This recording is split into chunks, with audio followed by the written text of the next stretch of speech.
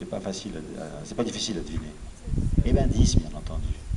Parce qu'après, quand il va nous dire comment vivre, et qu'il va nous donner des paroles de vie, ces paroles de vie, on les appelle, euh, on les appelle malheureusement, j'allais dire, parce que ça entraîne des incompréhensions, on les appelle des commandements. En fait, des commandements, c'est un bon père qui regarde la vie de ses enfants et qui dit j'ai peur que votre vie aille de travers. Alors je vais vous donner des bons conseils. Si vous voulez que votre vie tienne bon, eh ben, il faut qu'elle soit suspendue par en haut, parce qu'une casserole, pour qu'elle tienne en équilibre, il faut qu'elle soit suspendue par en haut. Donc il y a trois commandements qui touchent Dieu. Tu adoreras Dieu et pas l'argent, etc. Et puis après, tu sanctifieras le nom de Dieu, c'est-à-dire tu vas prier, puis tu te souviendras du jour de Dieu. Parce que toi, tu fais tout ce que tu veux dans toute ta vie, sauf que c'est pas toi qui choisis le temps, c'est pas toi qui choisis ta naissance, c'est pas toi qui choisis ta mort. Et donc il y aura un jour dans la semaine qui sera un jour de Dieu. C'est pas les choses qui dépendront de toi, c'est toi qui dépendras de Dieu. Et puis après, tu iras dans le monde. Alors dans le monde, tu vas rencontrer les autres, et dans les autres, la première parole que je te dis, c'est attention à leur vie, tu ne tueras pas. Et puis qu'est-ce qu'il y a de plus précieux dans la vie? Bah, Le plus précieux dans la vie, c'est l'amour, voyons, que les autres m'aiment. Alors tu casseras pas l'amour des autres, tu commettras pas d'adultère. Et puis après, les autres, bah, ils ont ce qui leur appartient, tu ne voleras pas. Et les commandements sont dans l'ordre. Ce sont des paroles de vie qui sont dans l'ordre. Premièrement, la vie. Deuxièmement, l'amour. Troisièmement, nos biens. Quatrièmement, bah, la parole. Parce que si je parle à quelqu'un et qu'on dit, ah oui, celui-là, il ment comme il respire, de toute façon, euh, il a dit ça de manière le contraire, et la veille, il a encore dit autre chose, c'est quelqu'un qui n'est pas fiable.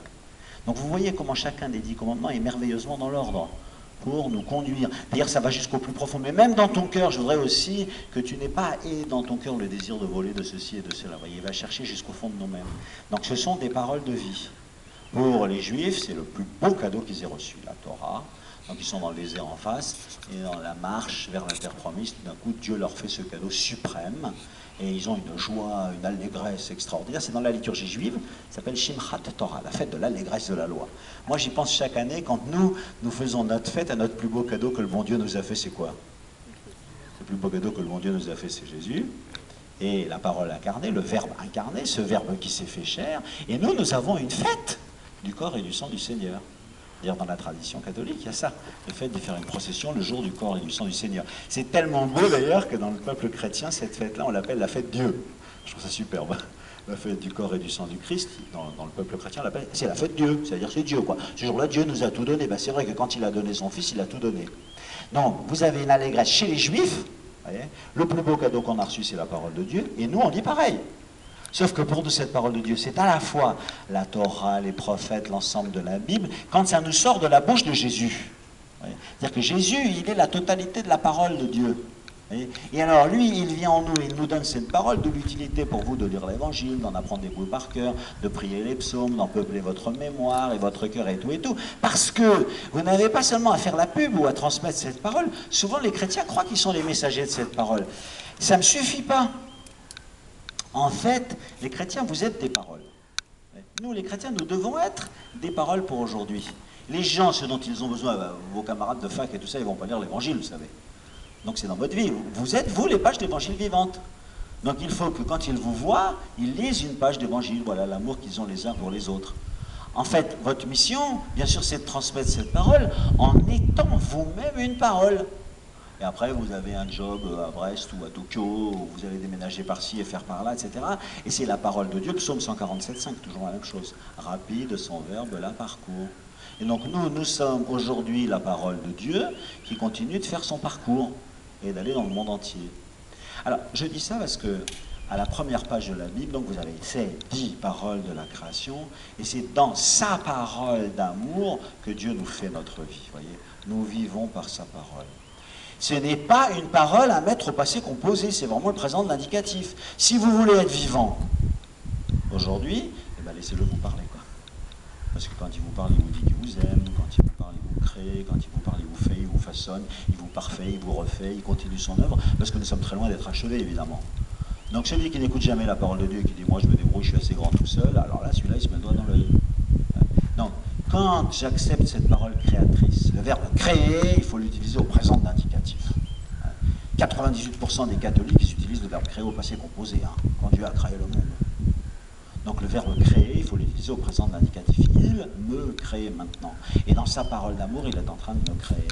Et comme ça n'a pas suffi et que je me suis égaré, alors il a envoyé les prophètes, les prophètes pour avertir. Et Jérémie disait, mais vous découragez pas. Puis après, quand il était orgueilleux, il disait, mais arrêtez d'être orgueilleux comme ça et obéissez. Enfin, ils ont dit ceci, puis ils ont dit exactement le contraire, suivant l'endroit où on se trouvait. Vous savez que la parole des prophètes est extrêmement souple.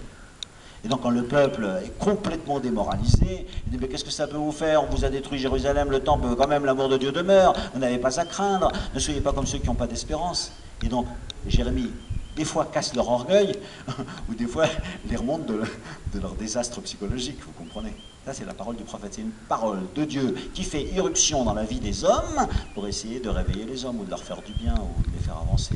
Donc, on voit comment cette parole, elle a toujours poursuivi le peuple. Rapide, son verbe la parcourt. Ah ben, ça n'a pas suffi. Alors, au bout d'un moment, Dieu, il dit, ben, j'en ai marre.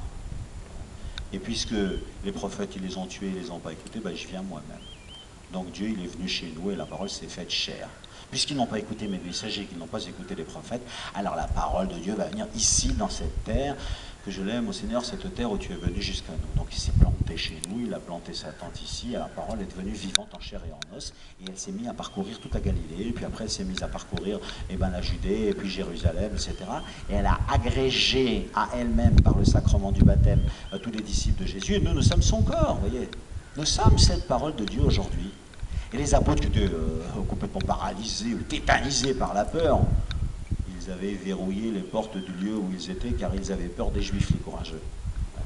Ça nous arrive de temps en temps à nous, pas trop oser dire une parole de Dieu parce que le courage nous manque, etc. Tout d'un coup, dans le feu de l'esprit, dans le don de l'esprit, alors ils deviennent des paroles vivantes. Et après la Pentecôte, ils osent dire, puis ils passent devant le Sanhédrin, et le Sanhédrin leur dit, on vous interdit de parler dans le temple, c'est absolument interdit. ils disent, excusez-nous, messieurs, dames, mais euh, nous, il vaut mieux obéir à Dieu plutôt qu'aux hommes. Rien ne nous fera taire. Nous ne pouvons pas ne pas parler. On les met en prison, ils sortent de prison. Et puis voilà que l'évangile se répand comme une traînée de poudre. Ils sont eux-mêmes des paroles.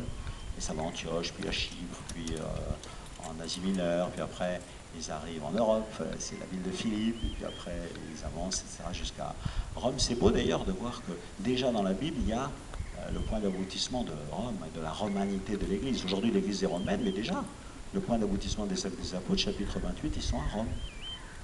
Et un siècle plus tard, ils remontent le Rhône, ils arrivent à Lyon, etc. etc. Et 20 siècles plus tard, et eh bien 20 siècles plus tard, le psaume 147.5, c'est vous. Rapide, son verbe, un parcours. Alors je vous dis ça ici, parce que maintenant on va entendre sa parole on va entendre ses paraboles, on va le voir faire ses miracles, on va le voir au bord du lac de Galilée, on va entendre les béatitudes, on va tout entendre. Donc s'il vous plaît, laissez-vous faire et refaire et créer par cette parole. Laissez la parole faire tout son chemin à l'intérieur de votre cœur, de votre intelligence, de votre personne, pour que vous soyez évangélisé jusqu'au bout des ongles. Et puis après, vous-même, bah, vous continuerez ce parcours de la parole. Il faut qu'on ait quitté le site à 5 heures. Donc je pense que ça va aller. Il ne faut pas trop perdre de temps. Donc on revient.